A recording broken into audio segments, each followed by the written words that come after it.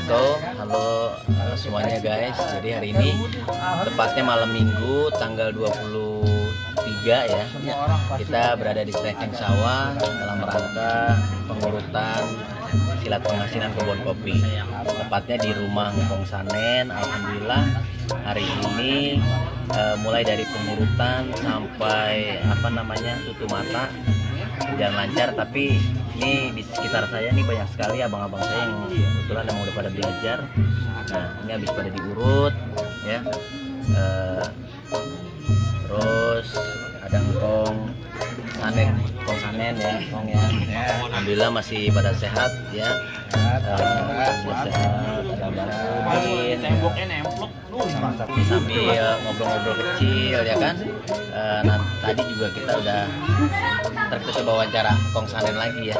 Karena memang itu Kong Sanen ada di samping saya nih. Usianya kurang lebih berapa Kong? usia udah 74 tahun. Pertama kali belajar silat pengasinan kebun kopi itu di usia berapa Kong? saya usia 18 tahun usia lah. 18 tahun ya? Kurang lebih 18 kurang lebih 18 tahun. lah masih muda ya. Dan memang pada waktu itu eh, belajar bersama Pak Yahya ya. Pak Yahya, sama Pak Imam. sama Kong Imam ya. Sama-sama Pak Yahya. Tapi yang ngajarin Pak ya Imam Kong Imam ya. Eh, tapi memang eh, pusat tetap kita ada di pengasinan ya. Itu dulu aja kali ya. Nah, eh, ya.